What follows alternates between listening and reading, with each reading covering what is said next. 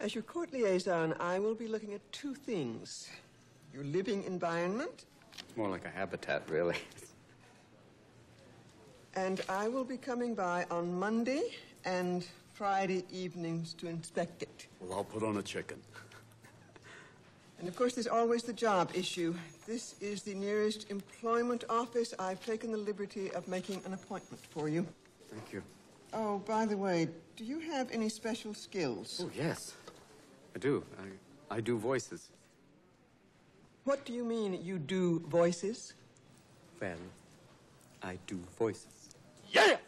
We've come to this planet looking for intelligent life. Oops, we made a mistake. We're happy to be in America. Don't ask for a green card. I want you in the worst way. well, it's certainly a rough meeting, and it's not going very well for me, I'll tell you that. Hey, boss, give it a chance. She's going to loosen up any moment. Look at me right now, Moneypenny. I want to undo that bow and get to know you. I'm crazy to make a deal with you. Nancy and I are still looking for the other half of my head. Idiot! You're doing it. I'm sitting on a gold mine. Don't make me smack you, sweetheart. I'll do it. Figaro. I do a great impression of a hot dog. Mr. Hillard, do you consider yourself humorous? I used to. There was a time when I found myself funny.